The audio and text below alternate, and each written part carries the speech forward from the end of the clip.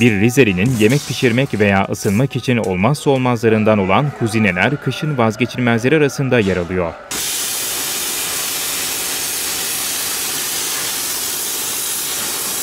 Kış aylarının gelmesiyle yurt dışından da talepler aldıklarını belirten kuzine ustaları bu durumun kendilerini memnun ettiğini söylüyor. Yıllardır kuzinecilik yapan ustalar kuzineye olan talepten mutlu olsa da mesleklerini devredebilecekleri gençlerin yetişmemesi noktasında derin kaygılar taşıyor.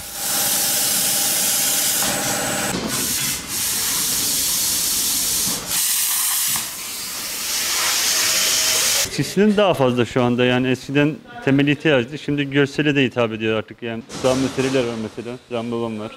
Fırında zam isteyen oluyoruz. Yani bundan 20 sene önce 8-10 çeşit sobamız vardı. Şu anda 60-65-70 çeşit farklı sobamız var.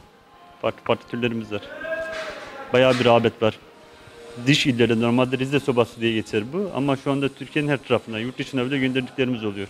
Bu sektör yükseliyor şu anda, yükseliyor sektörün ama ne var ki alttan gelen usta yetişmiyor. Son nesil yani bizim 35 yaşın altında da ustamız yok.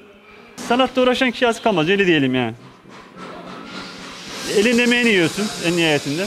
Az kalmaz yani ama gençler dediğim gibi yani biraz daha gayretli olması gerekiyor. Yani. Ortalama büyüklüğüne göre yani öyle soba var ki günde iki tane yaparsın. Öyle soba var ki iki günde bir soba yaparsın. Yani sobanın büyüklüğüne göre değişir. Salı gerektiren bir sektör değil yani yeni başlayan bir eleman bir sene zarfında büyük oranda büyük sobalar yapmaya başlar.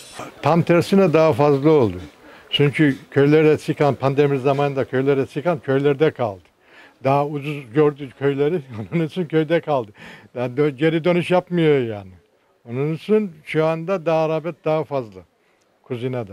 Geçen sene sattığım 1000 lira soba kuzinayı eee, bu sene 4000 liraya satıyorum.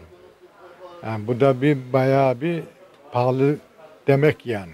Ha, Bunu vatandaş yeni piyasaya emeğe sobadan çok daha uygun.